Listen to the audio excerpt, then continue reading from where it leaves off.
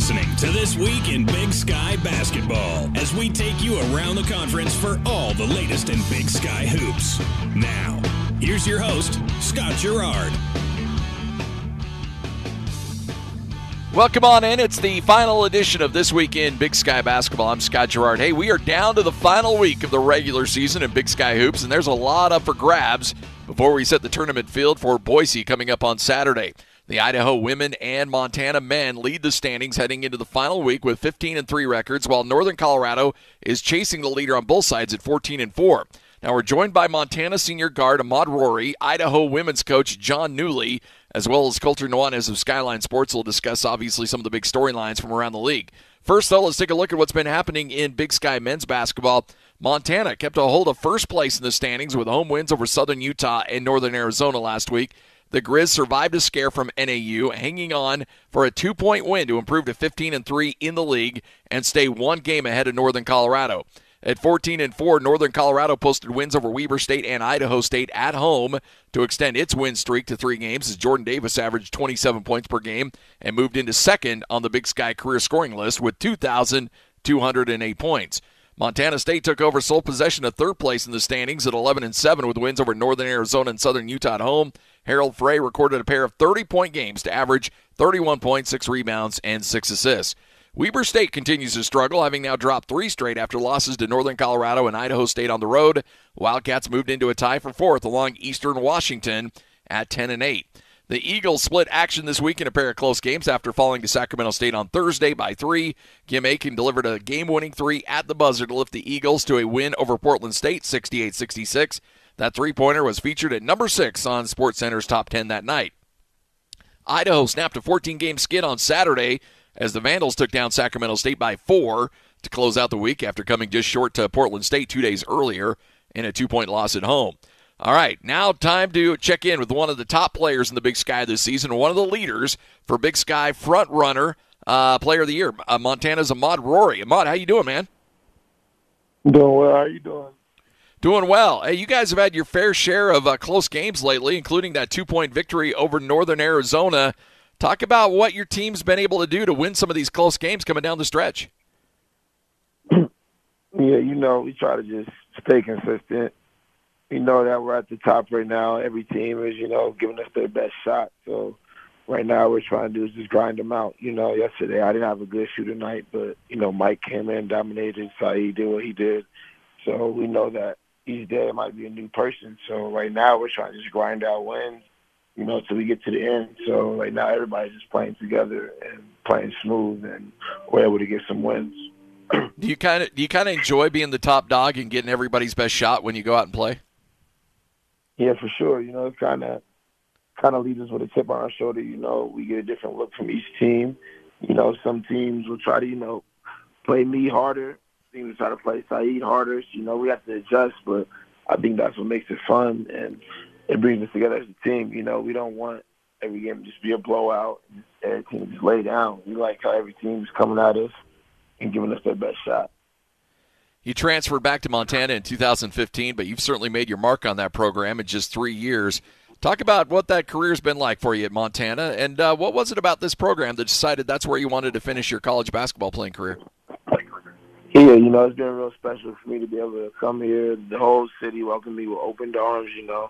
So it's been great, you know, good experience. You know, kind of sad that I played my last game in Dahlberg Arena yesterday, but you know, it's a little bittersweet. But yeah, um, Trav and I, Coach, Coach Travis, we've known each other for a long time, so wanted to, you know, come out here and um, play for him. You know, he's a real good coach and he knows my game, so felt like if I came out here he would allow me, you know, just do what I do, and that's how it's been these last two years. This conference is just loaded with guards, especially over the last season. As a guard, what's it like playing in such a guard-heavy conference where it seems like you've got a stud that you're going up against every single game? Yeah, you know, it's nice. You know, a lot of a lot of the guards in this conference, you know, specialize in scoring. You know, but I think what makes me different is I'm able to get my teammates involved. I'm kind of versatile in a lot of ways, but a lot of other guards in this conference just want to get buckets to score. So um, if you, I feel like with my team and myself, you just kind of shut them down with scoring, then still be a non-factor, you know, so to say. So, but it's definitely nice, you know, taking the challenge of doing that every night is real, is real special. Do you feel like this has made you a better defender, being able to go against so many good guards game after game? Yeah, for sure. You know, you have to. You know, you scored on a lot, and then I mess with your head. So you got to really lock in on defense, be ready to just slide your feet, and then keep them out the paint and keep them scoring. Ahmaad Rorie, kind enough to join us here on this weekend Big Sky Basketball. You're part of a special class there at Montana. Four great seniors on that roster. What's it been like playing alongside those three guys?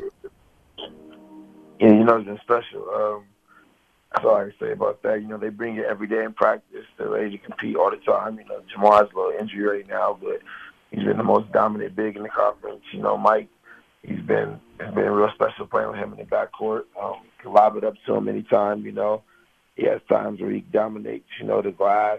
He dominates going to the basket. So I always rely on him. You know, play hard and you know get us going. Bobby, so he's the defensive player of the year. Man, he just guards everybody practice. He guards everybody in the games, and you know he's real tough. You know we're from the same hometown, so I've known him the long the longest. But yeah, he's a real tough kid, and I feel like this class has been real special. Everyone's bought in and just winning, so that's what we've been able to do. You're looking for that second straight Big Sky regular season title, hoping to get back to the NCAA tournament again. Uh, what do you guys need to do this final week and in the uh, in the conference tournament? Make sure you get back to the NCAA's. Well, yeah, we we actually we owe Portland State, you know, so we're gonna come out here real. I know everyone's gonna come out real hype with a lot of fire. You know, they beat us at home to end our um, streak and give us our first loss in conference play. So we got to come out here and play stronger than them, play faster than them. You know, they're a team that likes to get up and press you, so they be strong with the ball. You know, Sac State, they're dangerous too. You know, they've played us close a lot of games since I've been here. Um, and then going into the tournament, you know, like I try to tell my teammates now, like once you get there, like all the regular season stuff doesn't matter. Like only thing that matters is winning three games in a row and then get into the tournament. So, you know, there's gonna be some teams that are gonna pull off some upsets and we just don't want to be that team that gets upset, you know, so we need to come out strong, we get everybody be focused. I feel like we just stick to our game plan, just play our game, we'll be just fine. Ahmaad, appreciate the conversation, man. Uh, thanks for joining us, and uh, good luck the rest of the week and uh, into Boise as well. Thanks for having me, man. You got it. Ahmaad Rorie, great conversation with him, senior guard from Montana. For the last 30 years, Sports Graphics has been a leader in providing signage and services for the top professional and amateur sporting events across the country. That's why the Big Sky Conference is proud to work with Sports Graphics for all their signage at Big Sky Championships. Sports Graphics, proud sponsor of the Big Sky. Take a quick break, come back. Idaho women's coach Jon Newlee will join the program. We'll also discuss what's been going on around the scene in Big Sky women's basketball. It's all straight ahead. You're listening to another edition of This Week in Big Sky Basketball.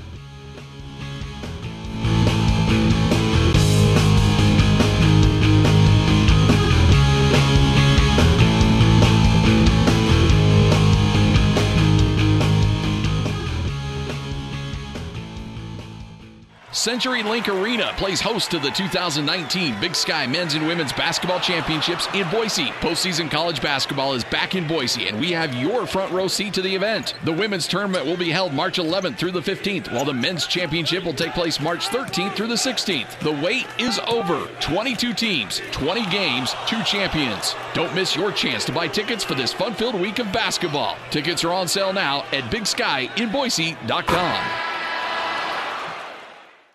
Traveling to watch your favorite team, or you just need a weekend away? Let My Place be your place for both. My Place Hotels is proud to be the official hotel of the Big Sky Conference, and now you can use booking code BIGSKY19 to receive 19% off your stay at myplacehotels.com. You're listening to This Week in Big Sky Basketball.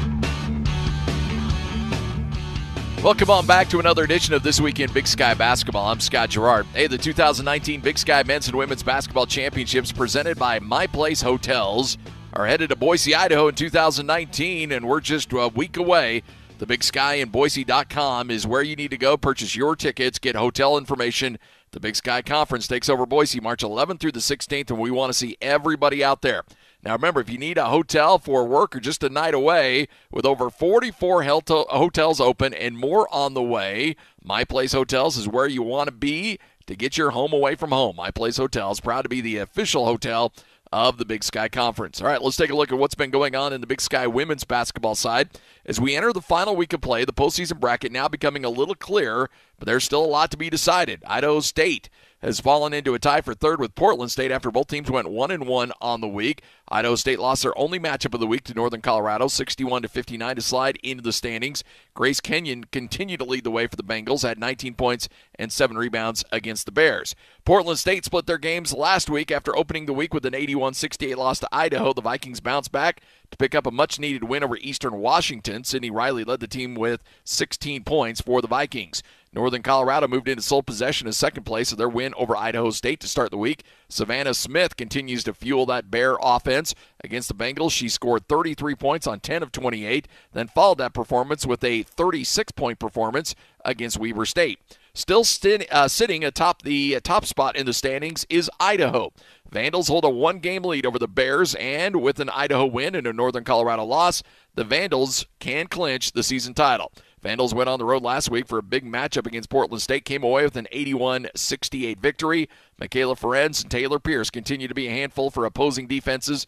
Ferenz averaged 19 and, half, 19 and a half points, while Pierce averaged 24 points. And joining us today is the head coach of the lead leading Vandals, Jon Newlee, kind enough to join us. Coach, how are you? Doing well, doing well. Thanks for having me.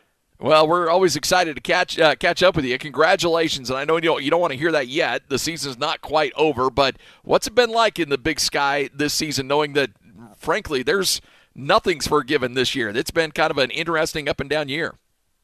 Yeah, it really has. I mean, you see the uh, you know the last place teams beating the teams that were leading. It's at one point there's you know, such parity in our league. It's it's crazy. Every night you got to bring it, like I tell our players, and uh, yeah, it's been it's been that kind of year. You have two really good shooters, really good players in Mikayla and Taylor. What's it been like to coach them during their careers? It's been fantastic. You know, it's really uh, it's really been such a pleasure for me to be able to uh, dive as deep into my playbook as I as I want to, and uh, really be creative with those two. Uh, they make it really easy for me, and um, you know, they're such great kids. They work hard. They're our hardest workers. You know, the 4.0 students, and uh, they just love the game of basketball. And uh, you can't ask for any more than those two have done for me in their careers. Uh, there's still a lot of basketball to be played, and you guys have a big matchup against Idaho State on Saturday. Uh, where's your team's focus going into a big game like that? Well, we got to focus on Weber State on Thursday. Uh, you know, yeah. this has been our deal really for the last three weeks. Um, you know, I've been telling them, you know, I know it's a cliche, but it is really one game at a time. We we can't afford to slip up with a one game lead, and you know the game's huge on Thursday because we win on Thursday. We clinch a share of the of the big of the title, the Big Sky title. And so that's always, of course, was our goal coming in is to get a get a Big Sky title regular season. Um, and then move on into the tournament. So Thursday is a huge game for us. It's something we're really focused on, and then of course uh, Senior Day will be Saturday against the Bengals. You know, I want to circle back a little bit to uh, Mikayla Ferenz and Taylor Pierce. You talk about them as good players, and uh, but but from a leadership standpoint, uh, what have they brought to the table, and how have they been able to to hold on to that locker room and keep them uh, keep that locker room where it needs to be?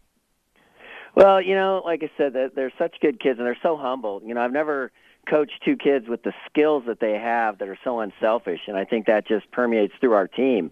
You know, they understand if somebody has a great shot, they're going to give up their good shot. Uh, they're so unselfish with each other. I mean, you know, you got the Big Sky, the all-time Big Sky leading scorer, and Mikayla Ferenz, unbelievable achievement, and Taylor Pierce is the number one three-point shooter in the country. You know, uh, and career-wise, so um, you know, they've both done amazing things on the floor, but uh, to be able to get in the locker room and and show that leadership. I mean, they've grown through the program. They've been here four years. You know, they're not transfers. They haven't set out. They they've been here through. Uh, you know, they played in the NCAA tournament as freshmen. They know what it's like. They played in the NIT. They they've done things team wise that they can. Uh, relate back to the younger kids and let them know how we got that done and how we won championships here. I know there's uh, only one week left in the regular season, but what's your point of emphasis? What needs to what needs to be the keys to your uh, keys to a couple of wins to end the season, and then going into conference play in Boise or tournament play in Boise? Uh, you know, everybody of course talks about our high octane offense, but really the the thing that's fueled us the most has been defensively in the games that we've really played extremely well. We've really got after people defensively and rebounded the basketball. And I know those are certainly two staples that every coach talks about, but but it's true with us. I think you know we know we can score. We we certainly have a lot of firepower here, but we got to really be able to play some lockdown defense and rebound the basketball. And I think once we started rebounding better at both ends and playing uh, better defense, that's when our team really took off this year. Is rebounding a mindset, or you, is it technique, or is it just all the above? I think it's a mindset. I think it's uh, it's it's uh, effort more than anything. You know, you got to be you got to be up for getting that basketball every single time, and you can't be afraid. You got to be physically tough. And I think our two Klinker sisters from Montana uh, once they really kick it into gear, they are they are awesome rebounders. They're they're like Rodmans, you know. They they go get the ball and uh, and they really fuel us um, on the glass, and that's really brought a big spark to us. Well, Coach, we appreciate your time. Thanks for joining us. Good luck this week, and good luck into Boise as well. All right, appreciate it. Thank you. You got it. Idaho women's coach Jon Newlee right here on This Week in Big Sky Basketball. When we come back, we'll preview the week ahead in the Big Sky Conference. We'll have a visit with Colter Nuanez of Skyline Sports, and we'll tell you where you can find all the Big Sky, Big Sky games on television this weekend. It's another edition of This Week in Big Sky Basketball.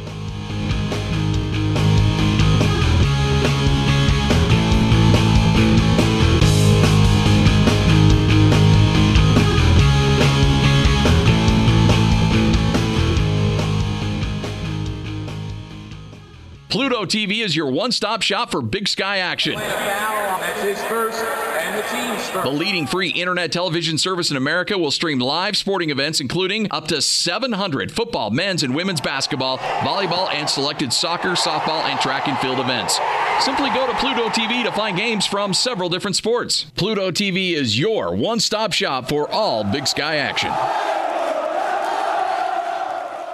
The 2019 Big Sky Men's and Women's Basketball Championships are headed to Boise. Buy your tickets now for a fun-filled week with basketball for all to enjoy. Purchase your tickets today by visiting BigSkyInBoise.com. That's BigSkyInBoise.com. Now, back to this week in Big Sky Basketball. Final segment of the show. You're listening to another edition of This Week in Big Sky Basketball. I'm Scott Gerard. Hey, the Big Sky will air all of its live stream sports events for Pluto TV for free. Up to 700 football, men's and women's basketball, volleyball, selected soccer, and softball. And remember, track and field coming up as well. All Big Sky basketball games can be watched and uh, seen on Big Sky and Pluto TV.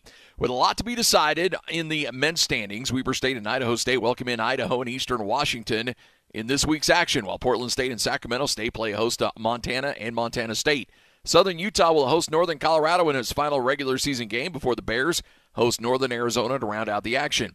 On the women's side, Idaho and Eastern Washington host Weber State and Idaho State in the final week, while Montana and Montana State bring in Portland State and Sacramento State. Northern Colorado hosts Southern Utah before traveling to Northern Arizona in the final games of the week. And remember, every single Big Sky Conference game can be seen on Pluto TV and watchbigsky.com for free and in high definition. Whether you're watching on a tablet, smartphone, laptop, or desktop, you can access Big Sky Basketball wherever you go. All right, time to welcome in Colter Nuanez of Skyline Sports. Colter, how you doing, man? Can't believe this is the last one, but it's about to be March Madness, so I'm doing great. How you doing? I know. I'm doing well. It's down the uh, down the home stretch we come. There's no doubt about it. Let's talk about Idaho and Montana leading the way in our standings. Do you see those teams hanging on and getting those one seeds going into the tournament? Well, it's going to be interesting because you know Montana they they won their final home game last night. Michael Oguine uh, just put the team on his back, and and he he did what seniors do this time of year and lifted Montana to a really gritty win over a Northern Arizona team that plays really hard. I was actually really impressed with Northern Arizona. They're young. They don't have hardly any upperclassmen, but they they play as hard as anybody I've seen in the league. So great job by Jack Murphy. Testament to him. But um, Oguine was just too much. But now you know, Montana has a very interesting scenario to close out the season. One of their three league losses was to Portland State back in overtime in Missoula. That snapped their 20-game home winning streak. They got to play at Portland State on Thursday. It's a little bit of a revenge element in that game. And then on Saturday, they got to play at Sacramento State. And the thing that's so funny about this league, so much of it is just about matchups and, and how do you do in specific places. And for whatever reason, Travis DeCuire has struggled uh, at the nest. I think he's only won one time in Sacramento in his previous four seasons. So that's always been a place that's given Montana trouble. So even though you talk about two teams that are kind of in the middle to bottom half of the standings on the men's side in Sac State and Portland State, no easy games for Montana. And with Northern Colorado nipping at their heels, we still have a race. So one, one weekend left, and then there's still two teams that could win this thing. And uh, you know, I think that's something that's going to spur the Grizz on, no doubt, because I think that they really, really want to hang that regular season banner. They they, they have the bye sewed up. They're going to be a top two seed, but I know it's really important to those seniors to win the regular season. And then on the women's side, you know, it's pretty interesting because Idaho definitely is in the driver's seat, but we have kind of a de facto preview uh, as well as Big Sky Championship game in Moscow on Saturday afternoon. Senior night for Mikayla Ferenz and Taylor Pierce, so that's sure to be emotional. And then an in-state rivalry with Idaho, Idaho State, two of the best teams in the league. So uh, it's still a lot to be determined on both sides. Even though Montana and Idaho have been the front runners all year, uh, they still have to take care of business if they want to hang that regular season banner. So let's extend it a little bit with some of the uh, first round buy spots open. Uh, how do you see the standings panning out during the final week? Well, uh, on the men's side, you know, Weber State is is in uh, sort of a funk, which yeah, I know a lot of it has to do with injuries. You know, uh, Jack Braxton has been hurt. Jerrick Harding, uh, he rolled his ankle. And you talk about a, an explosive guy like that, that's going to hinder you. Uh, but you always have to expect Randy Rahe's teams to be ready by the time the tournament rolls around. When you got a scorer like Harding, uh, all bets are off. He, he can definitely carry all the way if he gets hot. Eastern Washington, same situation. They lost Jacob Davison, and I know his status is still questionable, and he's kind of straw stirs the drink for them. But you know, one of the untold stories, I, I shouldn't say untold, but one of the stories that needs to be told more is the emergence of Harald Frey. I mean, Tyler Hull is the all-time greatest scorer in the history of the Big Sky Conference at Montana State. But Harald Frey, to me, has emerged as an absolute lock as a first-team All-League player. He straight up won them two games this weekend. I mean, he had, he had 30, 30 points and 32 points back-to-back nights, and that's with being a pass first point guard. So the guy is operating at an unbelievable level of efficiency. I think that gives Montana State uh, a, a for sure chance when we get into the tournament. And then on the women's side, uh, it's been just kind of the same tiers in the league. It's been Idaho, Idaho State, uh, Portland State, and Northern Colorado as that top four core. Montana State has just been the kind of alone in that fifth spot, and then everybody else has kind of faded. You know, Lady Grizz have really had a hard time as of late. Uh, their depth issues. I mean, they only Shannon Schweyen only has like seven players available to her right now because of their injury situation. So she's playing her up for class 40 minutes a game, and I think it's starting to kind of wear on them. And I think that's why they've lost three straight. But you know, Montana State, they, they when they're good, they've been really good. They're just really trying to figure out a way to adjust without Claire Lindberg. She was definitely an all-league player before she got hurt. And now Montana State's definitely emerging again. Madeline Smith had a great game last night. She had 26 points uh, as they defeated Southern Utah. Uh, so the Bobcats are an interesting one because they've had to kind of remake themselves midway through the year here. Uh, but when they're at their best, I definitely think they can hang with those top four teams. We'll see if they can hit that stride, though, uh, in Boise next week. You talk about Harald Frey a little bit as uh, an all-conference player, and I'm kind of putting you on the spot here a little bit. You don't need to name your entire teams, but give me your, uh, you know, guys that definitely need, or you know, men and women that definitely need to be on those all-conference teams. Well, it's funny because we were thinking about this. You know, I, I had nine guys on my list that were kind of nominees for the first team All League, and I think that right now, I think Jordan Davis is an absolute lock. I think he's probably the front runner uh, for MVP at Northern Colorado. I think Ahmaad Rorie has to be a lock. I know he had zero points on on uh, senior night last night in Missoula, but that, that's inconsequential. The way that he plays on-ball defense, the way he dictates the tempo of the game, I think he's the best uh, tempo controller in the entire league. And after last night, I mean, after having 37 or 32 points and seven assists, Harald Frey's got to be a first team all league lock. And then I think the other guys that are kind of in the mix there are going to be Sayeed Pridgett, Michael Oguine from Montana, uh, as well as Jerrick Harding from Weber State, Marcus Graves from Sac State, Holland Woods from Portland State. So guard heavy, definitely in the league, but I think that right now the three locks got to be uh, Jordan Davis and Harald Frey and uh, Ahmaad Rorie. And then on the women's side, I think that Taylor Pierce, Mikayla Ferenz, the Splash Sisters of Idaho, absolute locks. I think Savannah Smith in Northern Colorado, an absolute lock. And then the rest of it's going to be pretty interesting because Grace Kenyon and Taylor Grandin, both at Idaho State, have had great years. Uh, Ashley Bolston, Sydney Riley uh, have both had great seasons at Portland State. Uh, so there's a lot of talented on the girls on the on the women's side here that are going to be in the mix. But uh, you know, I, I think that there's some real MVP candidates on both sides, and I think that's going to be an interesting race as well. I, you know, I think Jordan Davis, Harald Frey, and Ahmaad Rorie all have skin in the game there, and Savannah. I mean, picking between Savannah Smith and Mikayla Ferenz, I don't know how you do it because you're talking about not only. I mean, you're talking two of the two of literally the best players in the history of the league, in my opinion. So um, yeah, it's going to be a fun race to see who wins these individual awards, and it's also going to be fun to see who carries their team in Boise next week. We've asked you this a couple times throughout the uh, throughout the season here on this week in Big Sky basketball, but this will be our last time to chat with you. So I wanted you to kind of throw out maybe some sleepers, some teams that may have flown under the radar, but might be playing some of their best basketball going into Boise, who may not be one of the top seeds, but could certainly cause some problems for some teams. Who should we be keeping an eye on coming up in Boise next week? Well, the, the two teams that I watched live in Montana this week uh, on the men's side are, are definitely teams to that could be a threat. You know, the, the neutral site tournament is definitely that has its pluses and minuses. But when you have teams that are really young teams like Jack Murphy has in Northern Arizona, and you kind of know that chasing that first round bye is not going to be really realistic for you. I think you can trust the process and get better throughout the year. And I think Northern Arizona has gotten better throughout the year. I think that they really are playing really well right now. And you're talking about a lineup that has three freshmen and two sophomores in it. So those guys, if they get it to click, they could be a team that could upset and win a couple of games. The other thing is Southern Utah. You know, Southern Utah has not been in a position where they're kind of in the middle of the league like they, like they are right now. They've been towards the bottom. But that said, they've won as many tournament games as anybody since Todd Simon yeah. took over. I mean, they beat Montana State a couple years ago in the tournament. Last year, as the 10 seed, they made it all the way to the semifinals. So Southern Utah knows how to win in, in neutral court tournaments. And I think that that'll be definitely intriguing. And on the women's side, you know, Montana State, if they can continue to find their flow without Claire Lundberg, they could be a threat. I know they're in the fifth spot, so that's not necessarily a surprise. Uh, Sac State, the style that they play, the fact that they they press you all the time, if they speed you up, they could steal a game uh, here or there. And you know, the thing is, Montana has been decimated by injuries since Shannon Schweyen took over. They've had so many girls go down with season-ending injuries, and it's been kind of crazy to watch. I mean, the luck has just been terrible on the Lady Grizz side of things. But you got to remember, this is a Lady Grizz program that's one of the most prestigious programs in the history of women's college basketball, and they still have players that understand that winning tradition, like Jace Henderson and Mackenzie Johnston and Gabby Harrington.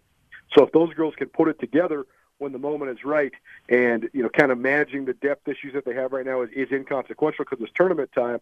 I wouldn't be surprised if Montana ripped off a couple wins as well. So, uh, going to be fun next week in Boise. Can't wait. No doubt about it. Hey, we appreciate your time this week and uh, throughout the rest of the season. I got to imagine you guys have it rolling over there at Skyline Sports leading into the tournament. Yeah, absolutely. We're working in, in conjunction with the league, so we'll have a, a series of 14 features. We've got a couple of them already printed, and uh, so we'll have features on all the seniors for Montana and Montana State, as well as uh, Savannah Smith, Jordan Davis, Mikayla Ferenz, Taylor Pierce, some of the top players in the entire league. So you can check that out, SkylineSportsMT.com or BigSkyConf.com.